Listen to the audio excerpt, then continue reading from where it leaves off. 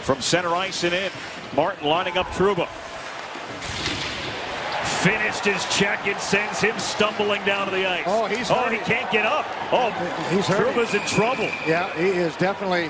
Matt Martin just shakes the knees of Jacob Trouba, and he cannot stand up on his own. Scary sight there, Matt Martin with the big hit on Trouba. Well, Matt Martin has a reputation as a big hitter and a clean player. And Jacob Trouba got him first, and Matt Martin returned the favor. Well, you know my favorite expression, Brendan. What's good for the goose is good for the gander, and uh, Martin was the goose there, but now Trouba, and that's a good hard check, and uh, he must have just got him in, in, the, in the, very vulnerable scenario because it looks clean enough, and Trouba's waiting for him so he can brace himself, and you can just see that he, he is struggling mightily. He just can't get his balance at all. He's starry-eyed, and uh, boy, oh boy. So they took him in the dressing room, and let's hope he's okay. The play, Blieger plays the puck behind the net. Victor Mete is there. Jake Evans, oh, he got slammed into the boards and he's hurt. Tanev nailed him and Evans stays down on the ice. And he, he's woozy as can be as he tries to roll over and get up. You know, it's one of those plays, too, that he was just away from the boards and turning to make the play. And an absolute hard hit there by Tanev as he didn't hesitate.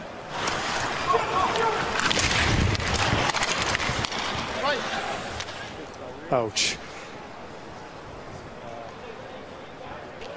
Well, no arm was up and no discussion from the officials, so there's clearly going to be no penalty. He's getting hit by the side. The teammates giving him a tap, as are the Penguins. You know, I was thinking last night when Jake Muzzin got hurt about how it must be for family and friends sitting at home Yeah. and watching on TV when somebody gets hurt like that. And In back for Benny. Had a problem with his stick. Couldn't get to it. Now McNabb out of the corner. Corey Perry went down for Dallas. He's slow to get up. hard one. It's a nasty one, and it's two ships colliding in the night. And you see his head come down and hit the ice, and he was all kinds of woozy coming off. Corey Perry, Alex Tuch, going to get into a collision right here. You see the whiplash effect. The head hit the ice. As Eddie said, he came back to play one shift. And during that last TV timeout, I think the trainers realized sometimes you got to save the player from himself. And they're bringing them back to the dressing room to make sure that everything's all right. And now Dallas down to 10 forwards. in a bad spot with his stick stag. And I saw when they were on the ice together right before this face-off, Crosby went over O'Reilly and explained that that was, oh boy, Guentzel just got hammered. So let's interrupt my story for uh, a big hit on Guentzel, who's lost his footing here and is really in a, in a heap of trouble. Puck wasn't there. Ristolainen and hit Guentzel. It was a terrible, terrible hit. Really a bad hit. And for Guentzel, who tried to get up, lost his footing, went back down, and you really have to be concerned right now. Blood over his cheek. And, and Chris Stewart appropriately just saying, hey, listen here, just let's calm down here. We got all day. Take a look here. Puck, boom. He's looking behind him. I don't know if it touched his skate or not, but it was long gone here, guys. The pass up the backside, not even no, not even close to him at all. Just a terrible, terrible hit by Ristolainen. And Ristolainen is going down, and he is going to leave this hockey game. That is a brutal hit there on Jake uh, Jake Guentzel. the last losing Stanley Cup finalists to go back to the finals the next year was Pittsburgh back in 09. We have a injured Shark, and it's Mark Edward Vlasic as play is halted. Went back for the puck, tried to pin it against the wall, and here comes Ryan Johansen right there with a full head of steam on Marc-Edouard Vlasic, and he goes straight down from the impact. Definitely contact to the head, whether intentional or not, by Johansen as Vlasic's helmet just pounded the glass and recoiled back off it. And he continues to stay down and chat this over with the Sharks head athletic trainer Ray Tufts and San Jose's top defensive defenseman. There's time for that. Backstrom finding Vrana, and Vrana will steer it in. Jacob beaten there, and Wilson came up high on Carlo there, and the Bruins did not appreciate that. Yep, Carlo was caught up high there. That was a number 43 missile coming in to clean out their deep. And anybody else that was standing in the direction, a heavy hitting shift for Tom Wilson here, and he dashes off. And here's the hit on Carlo. Here comes Wilson.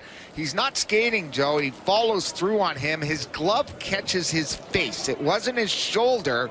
And that's when all heck breaks out loose, breaks loose in the corner here. One more look.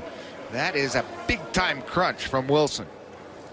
Carlo, who stands six foot five inches tall, just as Wilson was about to deliver the payload on that hit, Tom stood up as uh, Carlo gets up and receives assistance back towards the Bruins bench.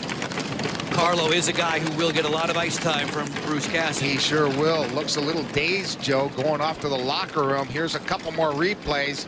Here's the first guy in, and here comes Wilson, and there's the crunch. You could see a lot of give from the glass. I mean, waiting, I think, prevented what would have been an easy empty net goal. Now Niederreiter wraps one into the Chicago zone. Necas takes a huge hit, and he is down. Takes a hit from Calvin DeHaan, and Marty Necas is lying on the ice in the corner to the left of the Chicago netminder. Oh, boy.